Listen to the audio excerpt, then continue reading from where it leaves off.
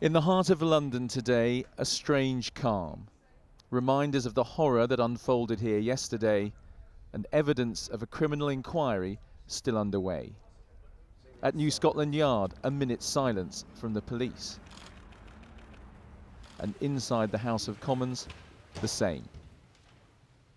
For the first time, Theresa May, as Prime Minister, has to take the lead on a terrorist attack. She struck a defiant note. Yesterday, an act of terrorism tried to silence our democracy. But today we meet as normal, as generations have done before us and as future generations will continue to do, to deliver a simple message. We are not afraid, and our resolve will never waver in the face of terrorism. PC Keith Palmer died defending Parliament yesterday. His family described him as a wonderful dad and husband, a loving son, brother, and uncle. The 48 year old was a Charlton Athletic fan and a former soldier. PC Palmer had devoted his life to the service of his country. He had been a member of the Parliamentary and Diplomatic Protection Command for 15 years and a soldier in the Royal Artillery before that. He was a husband and a father, killed doing a job he loved. He was every inch a hero, and his actions will never be forgotten. One MP had served in the Royal Artillery with PC Palmer. Their paths had then crossed again at Westminster. He was a strong, professional public servant.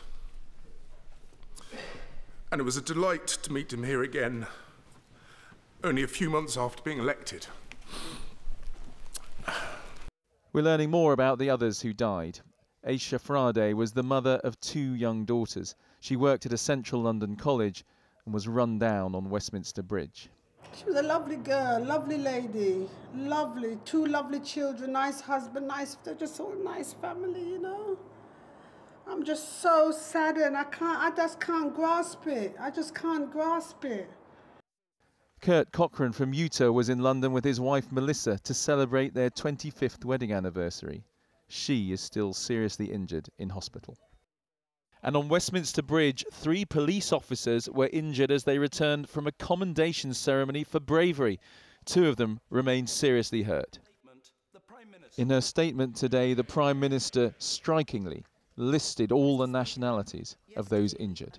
In addition to 12 Britons admitted to hospital, we know that the victims include three French children, two Romanians, four South Koreans, one German, one Pole, one Irish, one Chinese, one Italian, one American, and two Greeks.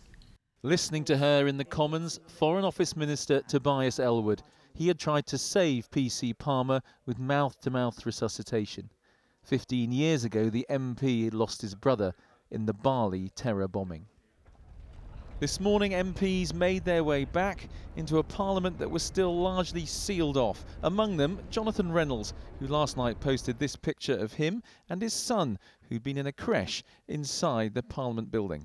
There was a lot of shock, but you know, we're back here the morning after Parliament is open, Parliament is sitting, people are going about doing their jobs, the rest of London is functioning exactly in the way it should, and that, that is the message to come out of this. The painstaking and painful investigation continues. In streets that have been locked down for most of the day, it's been hard for people to pay their respects. But in the days ahead, there will certainly be more tributes like this. Andy Bell, 5 News.